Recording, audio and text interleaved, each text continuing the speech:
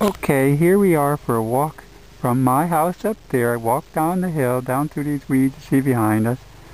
Jumped over this little stream here, but now we'll walk out to the river. Notice it's just a little walk through these grasses. Hang on.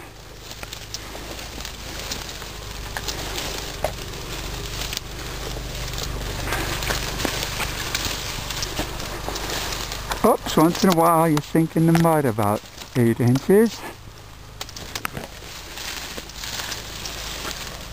We're getting closer.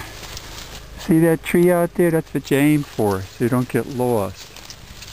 I mean, how lost could you get? Well, okay, we're doing a good job here. Keep going. Okay, we're now stepping over a log. And there's some very unpleasant prickery things along here. You can't see it, but there's one right there. We'll go close to it. That's very unpleasant.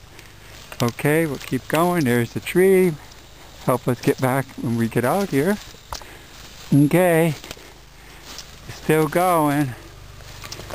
We're almost to the river. Here we are. See, that was nice.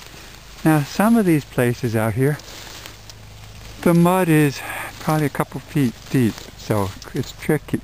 Here, we just, it's about east, then we'll look. There's a house on that point.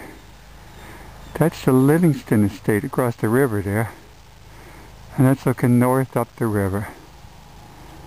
Alright, and let's see what it looks like when we go back. There's a tree that helps us find the path, okay.